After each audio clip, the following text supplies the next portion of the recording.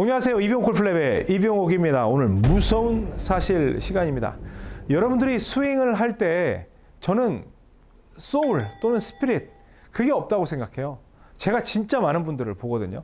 그런데 스윙의 이 모양, 백스윙 어떻게 가고 top 어떻게 가고 down 어떻게 가고 이런 것만 생각하지 내가 이 스윙을 왜 해야 되는지 진짜 깊게 생각하면서 그때그때 집중하면서 하는 분들 진짜 보기 어렵거든요.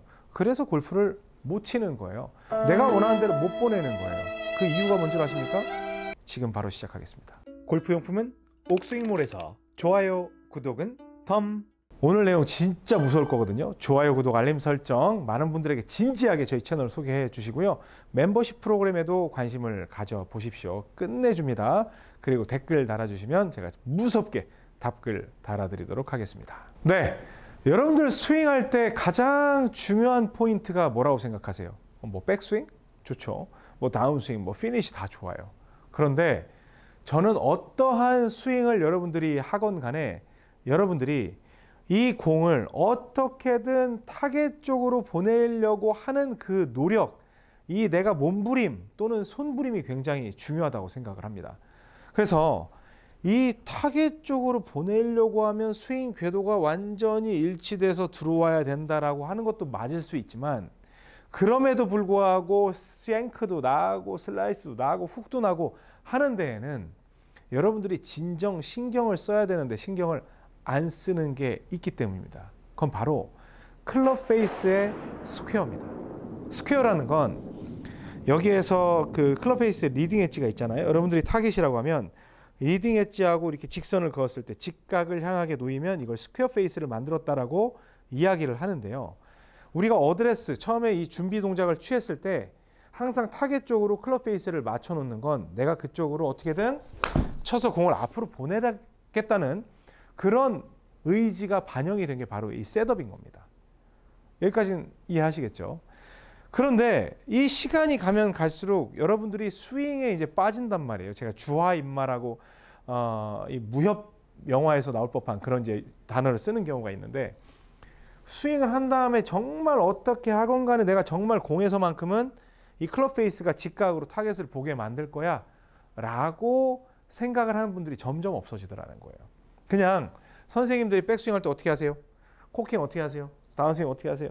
이렇게 하면 그냥 저절로 스퀘어가 될 거라고 믿고 열심히 스윙 훈련을 하고 있는데 천만의 말씀 절대로 되지 않아요. 우리 길거리에서 많은 사람들이 걸어 다닙니다. 그러면 걸음걸이 보면 특별히 아주 튀는 동작이 아니면 그냥 신경 안 쓰잖아요. 근데 그 걸음걸이가 다 똑같습니까? 완전히 다 달라요. 사람마다 걸음걸이가 다 다르단 말이에요. 하나의 아이덴티티로 형성이 될 정도로 걸음걸이는 다 달라요. 그럼에도 불구하고 우리는 별로 신경을 쓰지 않죠. 그런데 스윙을 배울 때는요. 이 보편성이라는 걸 인정하지 않고 특정 모델적인 스윙을 만들려고 노력을 하는데 큰 문제가 생긴다는 거예요. 그래서 뭐 백스윙을 어떻게 가고 뭐 가고 이렇게 내려와서 이렇게 치고 이 동작을 따라 하려고 하는데 왜 보편성을 무시하고 여러분들은 특정 그 모델적인 모양을 따라 하냐는 거죠. 거기에서 큰 접근의 오류가 생기는 겁니다. 어떠한 스윙이건 비슷하게 보일 때 스윙의 역할은 충분히 할 수가 있고요. 가장 중요한 건 임팩트 순간에 클럽 페이스를 그대로 직각으로 가져와서 공이 맞는 순간에는 최소한 타겟 쪽으로 날아갈 수 있는 그 순간에 집중을 하려고 하는 게 굉장히 중요하거든요.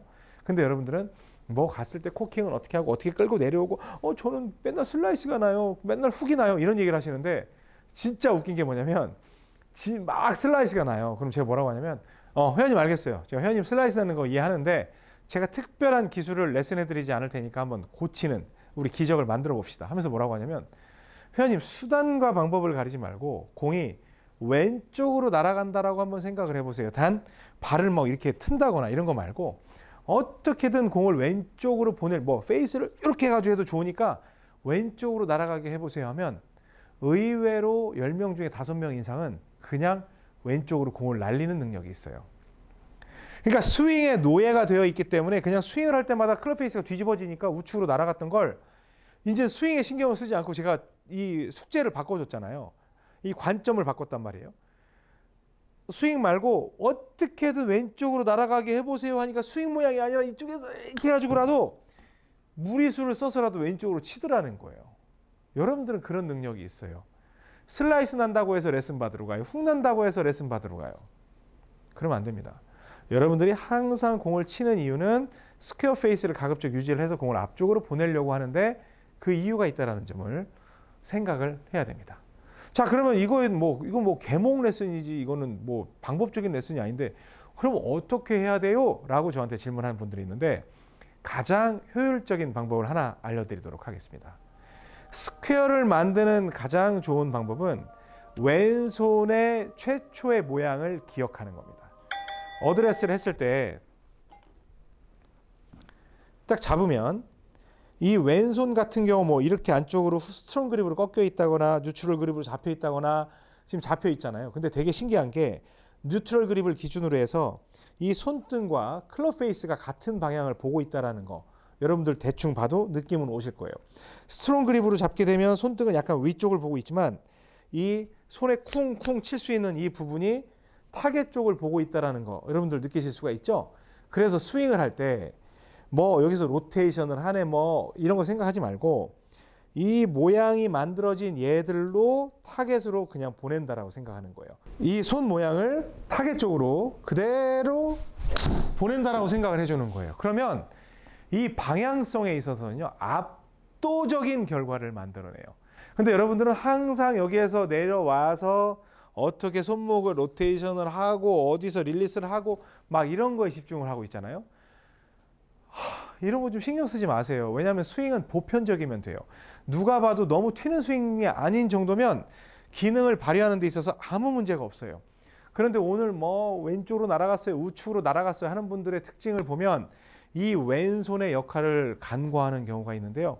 이 왼손 등, 왼손 등이 약간 이렇게 돼 있을 수도 있고 이렇게 돼 있을 수도 있지만 공이 맞는 그 시점에서는 그 왼손 등만 그 모양으로 지나가 주게 되면 물론 완벽하게 똑바로 갈 수는 없지만 여러분이 말도 안 되는 왼쪽으로 확 감기고 오른쪽으로 확 밀리는 그러한 결과가 나오지 않습니다. 제가 또 이런 레슨 하면 그럼 왼손으로 치는 건가요?